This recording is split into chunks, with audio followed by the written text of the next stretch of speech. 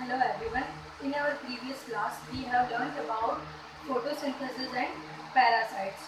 Today we will learn about saprophytes. कि saprophytes क्या होते हैं सेप्रो वर्ड का मीनिंग होता है रोटन रोटन मतलब अगर कोई चीज़ गल जाती है सड़ जाती है तो हम उसको क्या बोलते हैं रोटन तो सेप्रोफाइट्स की डेफिनेशन क्या होगी saprophytes are they obtain their food from dead and decaying organic matter of dead plants, dead animals or rotten bread etc. ये क्या होते हैं? सेप्रोफाइट्स मतलब ऐसे माइक्रो ऑर्गेनिज्म होते हैं जो किसी मरी हुई चीज़ पे या ख़राब हुई हुई चीज़ पे सड़ी हुई गली हुई चीज़ से अपना भोजन लेते हैं अपना फ़ूड ऑप्टेन करते हैं वो क्या होते हैं? सेप्रोफाइट्स अब ये जो फंगी वगैरह होती है कुछ जो बैक्टीरियाज होते हैं वो किसमें आते हैं? सेप्रोफाइट्स में आते हैं। जैसे यीस्ट है मशरूम्स है, ये सब किसमें आते हैं? सेप्रोफाइट्स में। तो सेप्रोफाइट्स ऐसे ऑर्गेनिज्म हो गए जो डेड एंड डीकेइंग मैटर से मतलब मरी हुई या सड़ी गली चीज़ों से अपना भोजन प्राप्त करते हैं, वो होते हैं सेप्रोफाइट्स तो ये जो हमारा फ़र्स्ट चैप्टर था, वो यहाँ पे ख़त्म हो चुका है न्यूट्रिशन इन प्लांट्स एक बार वापस हम उसको रिकॉल कर लेते हैं। न्यूट्रिशन क्या होता है? जो खाना हम खाते हैं, वो खाना हमारे शरीर पे किस तरीके से प्रभाव डालता है? वो होता है न्यूट्रिशन मतलब पोषण। उसके बाद में हमने पढ़ा था मोड ऑफ़ न्यूट्रिशन दो मोड होते हैं न्यूट्रिशन के ऑटोट्रॉपिक और हिटरोट्रॉपिक हाँ तो ऑटोट्रॉपिक होता है ऐसे ऑर्गेनिज्म जो अपने खाने के लिए किसी और पे निर्भर नहीं रहते हैं। वो क्या होते हैं? सेल्फ फीडर्स होते हैं, अपना खाना खुद बनाते हैं।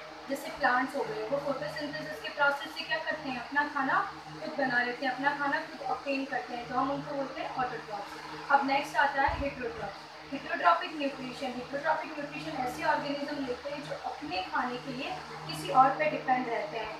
वो अपना खाना खुद बना नहीं सकते, वो अपने खाने के लिए क्या करते हैं? पेड़ पौधों पे इन सब पे डिपेंड रहते हैं. तो वो होते हैं हिट्रोट्रॉपिक्स मतलब जो किसी और पे डिपेंड रहते हैं। फिर हमने पढ़ा था ग्रीन प्लांट में फोटोसिंथेसिस का प्रोसेस कैसे होता है?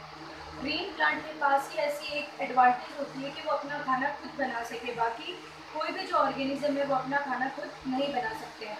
अब फोटोसिंथेसिस का प्रोसेस होता कैसे है? ग्रीन प्लांट्स की लीफ में क्या होता है? क्लोरोफिल होता है। वो जो क्लोरोफिल होता है, वो सनलाइट से सन से क्या लेते हैं सनलाइट एनर्जी लेते हैं। और जो रूट्स में हम पानी डालते हैं वो स्टेम से होके लीव्स तक चला जाता है और एयर से क्या लेते हैं? कार्बन डाइऑक्साइड लेते हैं। फिर सनलाइट कार्बन डाइऑक्साइड और वाटर की कॉम्बिनेशन से वो क्या करते हैं? ग्लूकोज और ऑक्सीजन का फॉर्मेशन करते हैं।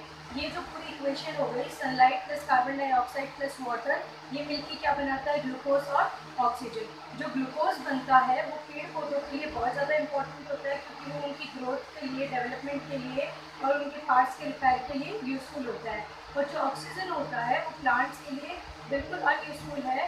उसकी कोई इंपॉर्टेंस नहीं है प्लांट्स में। तो जो ऑक्सीजन होती है वो ह्यूमन बींग्स के लिए एनिमल्स के लिए, वो हमारे लिए बहुत ज़्यादा इंपॉर्टेंट होती है क्योंकि हम ऑक्सीजन की वजह से क्या करते हैं?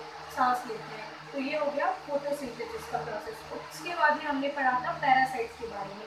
पैरासाइट्स भी एक तरीके की कौन सी कैटेगरी होती है जो हिट्रोट्रॉप्स में आते हैं? मतलब जो अपने खाने के लिए किसी और पर डिपेंड रहते हैं। तो पैरासाइटिक ऑर्गेनिज्म ऐसे होते हैं जो किसी प्लांट्स के या एनिमल्स की बॉडी की सरफेस के ऊपर या उनके बॉडी के अंदर रहते हैं और अपने खाने के लिए उन पर निर्भर रहते हैं। वो होते हैं पैरासाइट्स फिर हमने पढ़ा सेप्रोफाइट्स ऐसे ऑर्गेनिज्म जो मरी हुई सली गड़ी हुई चीज़ों से, सड़ी हुई, गली हुई चीज़ों से अपना खाना उत्पन्न करते हैं, अपना खाना उनसे लेते हैं। वो क्या होते हैं? सेप्रोफाइट्स तो यहाँ पर अपना चैप्टर कंप्लीट होता है।